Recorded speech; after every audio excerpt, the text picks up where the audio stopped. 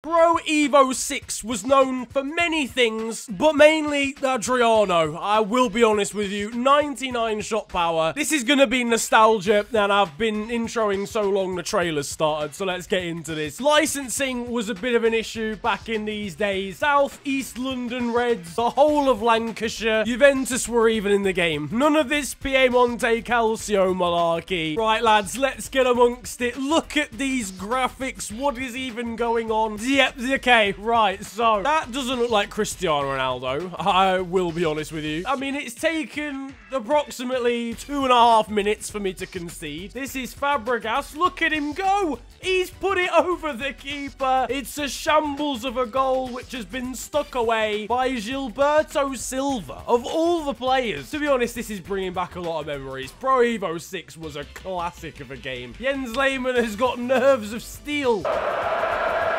No, it's gone badly. No. All right, listen. Lehmann walks back to his goal in the background. You could argue he was slightly out of position. We go in again, though. We've got to try the main man himself. Keeper and Adriano. What a top two. This is Adriano. Oh, my God. That was actually very decent. Everything's just so pixelated. You know, like, at the time, right, this was amazing. So seeing this now, it's a catastrophe, I'll be honest, as Adriano is in and Adriano Scores. I know I talked about the Inter players in this team, but let's just stop for a minute and talk about Juve. David Trezeguet, Pavel Nedved, Del Piero, Buffon, Pirlo all in the strike here. Oh my god, what did Ibra just do? One minute of stoppage time? No, the dream is gone before I've even said it. And I think that'll wrap things up for this retro throwback looking at Pro Evo 6. It's an absolute classic of a game, lads. I would highly suggest getting back on it if you still got it up in the loft somewhere.